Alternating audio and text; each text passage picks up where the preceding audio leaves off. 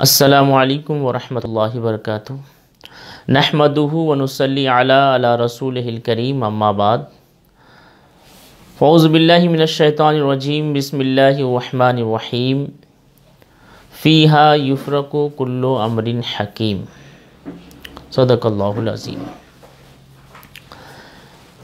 आज फिर मैं एक बार आपके सामने हाज़िर हुआ हूँ, एक नई वीडियो लेकर, जिसमें अहादीस की रोशनी में शब बरात की फ़जीलत व अहमियत को बयान किया जाएगा। वो इस वजह से कि बाद हजरात जो है, ये एतराज़ करते हैं कि शब बरात की कोई अहमियत नहीं है, ना उसकी कोई फ़जीलत है, ना कोई इसकी कहीं से कुरान हदीस से सबूत है। तो मैंने जो आयत करीमा अभी तिलावत की, इस आयत की तफसीर में मुहदसिन ने इस आयत की तफसीर में बयान किया है कि इससे मुराद शब बरात है। अब मैं अहादीस से ये बात को साबित करूँगा कि शब की अहमियत व फजीलत हदीस से साबित है। जैसा कि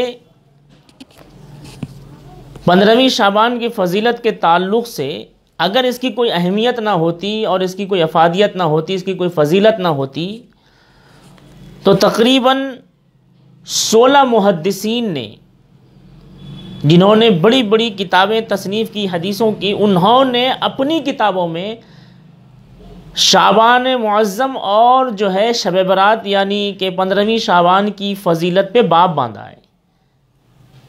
एक चैप्टर शुरू किया है कि इसकी फजीलत के ताल्लुक़ से, जैसे कि उनमें सबसे पहला नाम आता इमाम अब्दुलरज़ाक़ इनका विसाल जो है 211 हिजरी में हुआ। इब्न अबी शैबा, इनका विसाल जो है 235 हिजरी में हुआ। इमाम इब्न माजा, इनका विसाल जो है, दो सौ तिहत्तर हिजरी में हुआ। इमाम तिरमिज़ी, इनका विसाल जो है, दो नवासी हिजरी में हुआ। इमाम इब्न हब्बान दारमी, इनका विसाल जो है, तीन सौ चौवन हिजरी में हुआ, इमाम दार कुतनी इनका विसाल जो है तीन सौ पचासी हिजरी में हुआ, इमाम बेहकी इनका विसाल जो है चार सौ अट्ठावन हिजरी में हुआ, इमाम बगवी इनका इंतकाल पाँच सौ सोलह हिजरी में हुआ मुहदस इब्न जौज़ी इनका इंतकाल पाँच सौ सल्तानवे हिजरी में हुआ, इबन रजब हम्बली इनका इंतकाल जो है सात सौ पंचानवे हिजरी में हुआ शेख अब्दुल हक मुहदस दहलवी, इनका इंतकाल नौ सौ अट्ठावन हिजरी में हुआ। अलाउद्दीन अलमुत्तकी, इनका इंतकाल नौ सौ पचहत्तर हिजरी में हुआ।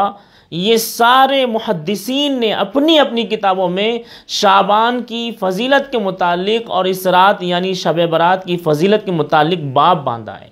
अब ज़रा बताएँ, अगर इसकी कोई अहमियत नहीं होती, इसकी कोई फजीलत ना होती तो ये सारे मुहदसिन अपनी अपनी किताबों में इस चीज़ का बाब क्यों बांधे?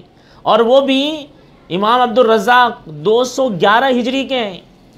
इमाम इबन माजा, ये दो सौ तिहत्तर हिजरी के हैं। इमाम तिरमीज़ी, ये दो सौ उनासी हिजरी के हैं।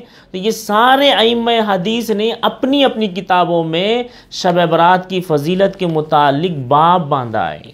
अब आइए और आगे प्रूफ और दलील देने के लिए कि वो सहाब कराम जिन्होंने शब बरात की फजीलत के ताल्लुक से हदीसें रिवायत की हैं। जिनसे हदीसें मरवी हैं उनमें से ना, नुमाया नाम अमीरमिन खलीफ़ अव्वल हज़रत अबू बकर सिद्दीक रदी अल्लाह तु जो शोबुल ईमान में साहिब शोबुल ईमान ने इसको रिवायत की है। हज़रत अली मुर्तज़ा जिनकी रिवायत सुनन इबन माजा में है उमुलमिन हज़रत आयशा सिद्दीक़ा रदी अल्लाह तहा जिनकी रिवायत सुनन तिरमिज़ी में है। हज़रत अब्दुल्ला बिन मसूद जिनकी रिवायत अलफिरदौस दैलमी में है, हज़रत माज बिन जबल जिनकी रिवायत सही इबन हब्बान में है, हज़रत अबू मूसा अशरी जिनकी रिवायत सुनन इबन माजा में है।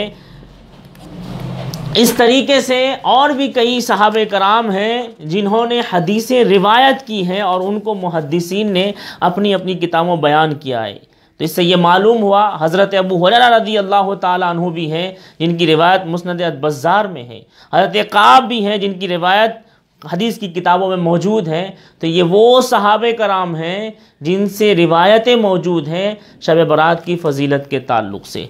अब मैं ज़रा वो ताबईन का दौर लेकर आता हूँ कि वो ताबईन जिन्होंने हदीस को रिवायत की है शहबरात के ताल्लुक से, जिन जो हदीस मुरसल है, वो ये हज़रत कसीर बिन मुर्रा हज़रत अता बिन यसार, मकहूल शामी, हज़रत अता बिन, हज़रत अताउल खरासानी, हज़रत उस्मान बिन मोहम्मद, हज़रत अबू इदरीस, ये सारे मुहदसिन हैं कि जिन्होंने, सारे ताबईन हैं कि जिन्होंने हदीसें रिवायत की मुरसलन।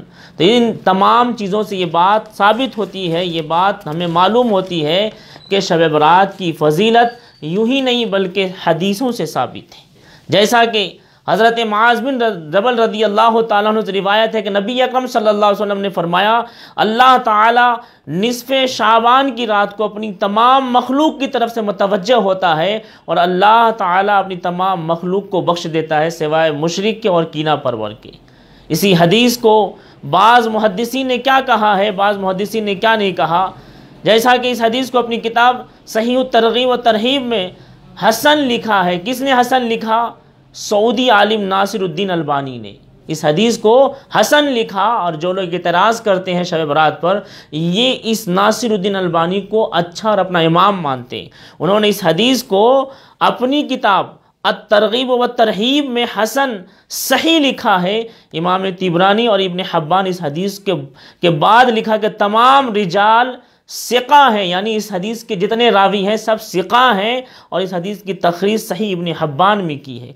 अलमुजमुल कबीर तिबरानी में हुई है तो मालूम ये हुआ कि सही और हसन हदीस से साबित है शब बरात की फजीलत। फिर भी अगर कोई एतराज़ करता है तो एतराज़ करते रहे, लेकिन हमने वो दलीलें पेश की कितने मुहदसिन ने अपनी अपनी किताबों में बाप बांधा है, इतने सहाब कराम ने शब बरात की फजीलत के मुतालिक हदीसें रिवायत की हैं और इतने ताबईन ने मुरसलन हदीसें रिवायत की है। ये सारी दलीलें शब बरात की फजीलत के लिए काफ़ी और वाफ़ी है और यकीनन अगर कोई नहीं मानता है तो एक बात ये जानते चले कि अगर आप नाबीना को और अंधे को सूरज दिखाएँगे तो नहीं दिखा सकती।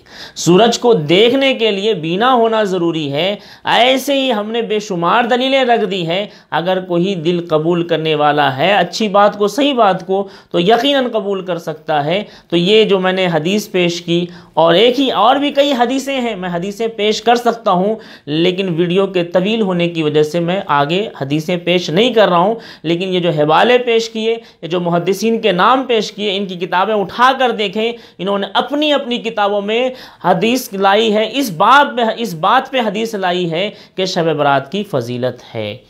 असलकम वरहमल वर्का